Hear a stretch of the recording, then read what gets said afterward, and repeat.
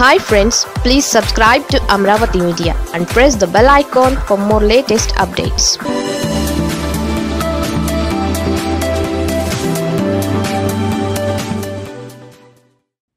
GITAM కబ్జాకు బీజం పడింది అప్పుడే. ఏడాది క్రితమే సంచలన విషయాలు బయటపెట్టిన ఐవైఆర్. కక్కలేక మింగలేక గీతం ఆక్రమణల్ని సమర్థించలేక ఖండించలేక తెలుగుదేశం పార్టీ నానా తిప్పులు పడుతోంది. ఇంకోవైపు జేసీబీ సర్కార్ ఆగేటట్లు లేదు.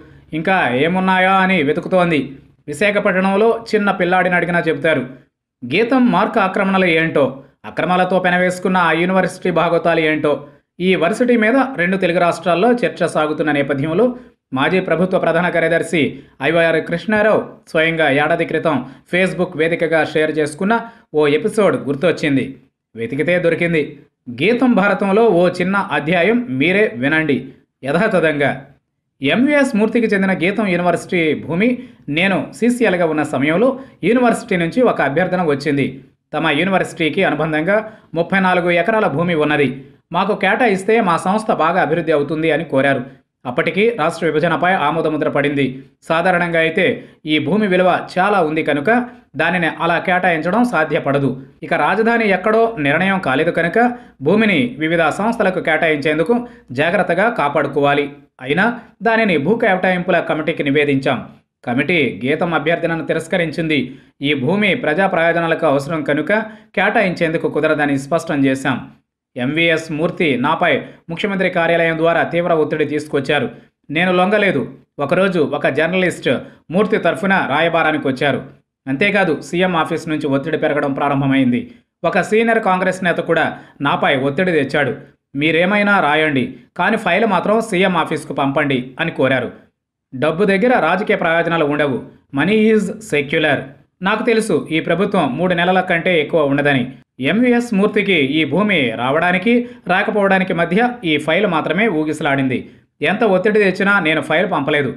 ఈ విషయంలో శాశ్వతంగా బుద్ధి చెప్పాలని భావించి హైదరాబాద్లో సెంట్రల్ ఎక్సైజ్ కమిషనర్ను ఆదాయ పన్ను కమిషనర్ను కస్టమ్స్ కమిషనర్ను ఇతర డిపార్ట్మెంట్ వాళ్ళను పిలిచాను.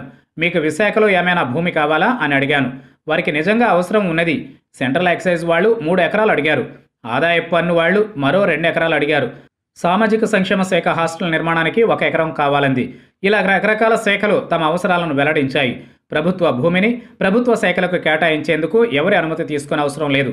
అందుకే ఈ ముప్పై నాలుగు ఎకరాలు ఫలానా ప్రభుత్వ శాఖలకు కేటాయిస్తున్నానని నేనే ఉత్తర్వులు జారీ చేసి ప్రభుత్వానికి రాటిఫికేషన్ కొరకు పంపాను. ఫలానా ఫలానా విభాగాలు తమ అవసరాలకు భూమి కావాలని అడిగాయని అందుకు తగ్గట్లుగా భూమిని కొలిచి ఆయా శాఖలకు కేటాయించి భూమిని స్వాధీనపరచవలసినదిగా నేను విశాఖ కలెక్టర్కు గట్టిగా చెప్పాను.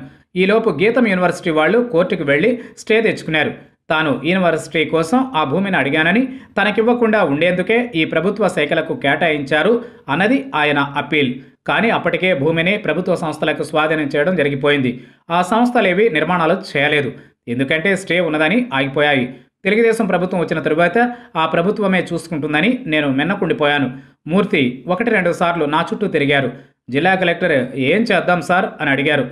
నీవు ఏం చేయగలిగితే అది చే అన్నాను. ఎందుకంటే నేను కేసు బలంగా బిగించి పెట్టాను. దానిని సులభంగా విస్మరించలేరని నాకు తెలుసు. నా చీఫ్ సెక్రటరీ పదవీకాలం పూర్తయ్యాక మళ్ళీ కదల్చే ప్రయత్నం చేశారు. రెండు వేల పదిహేడు మే పదిహేడున కేబినెట్లో ఈ విషయం తీసుకువచ్చి ప్రభుత్వ శాఖలకు కేటాయించిన భూమిని రద్దు చేయాలని చంద్రబాబు ప్రభుత్వం ప్రతిపాదించింది. ప్రభుత్వానికి చెందిన భూములను కేటాయించేందుకు మార్గదర్శక సూత్రాలు ఉన్నాయి ఒకటి ప్రభుత్వ విభాగాలకు ప్రాధాన్యతనియ్యాలి. రెండవది ప్రభుత్వ రంగ సంస్థలకు ప్రాధాన్యతనియ్యాలి. మూడవది అర్హులైన ప్రైవేట్ పార్టీలకు ఇవ్వాలి.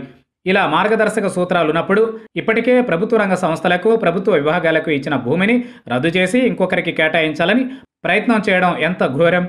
మొదట చంద్రబాబు ఈ భూమిని ప్రభుత్వ రంగ సంస్థలకు రద్దు చేసి గీతంకు ఇవ్వాలన్న మూడ్లోనే క్యాబినెట్కి తీసుకెళ్ళాడు. గీతం తరఫున వాదించారు. మీకు తెలుసు కదా గీతం యూనివర్సిటీ ఎంత ప్రతిష్టాత్మకమైనదో. ఆయన ప్రక్కనే ఉన్న భూమిని అడిగితే రాజశేఖర్ రెడ్డి కావాలని కక్ష కట్టి టార్గెట్ చేసి ఆ భూమి రాకుండా చేశారు అని చంద్రబాబు చెప్పారని తెలిసింది. దీనికి రాష్ట్ర మంత్రి గంటా శ్రీనివాసరావు అడ్డుపడ్డారు. మీరంటున్నది కరెక్ట్ కాదు సార్. ఇది రాజశేఖర్ రెడ్డి పీరియడ్లో జరిగింది కాదు. కిరణ్ కుమార్ రెడ్డి కాలంలో తీసుకున్న నిర్ణయం. ఇప్పుడు దానిని మార్చి మనం ఇవ్వడానికి ప్రయత్నించడం బాగుండదు. కరెక్ట్ కాదు అని చెప్పారు.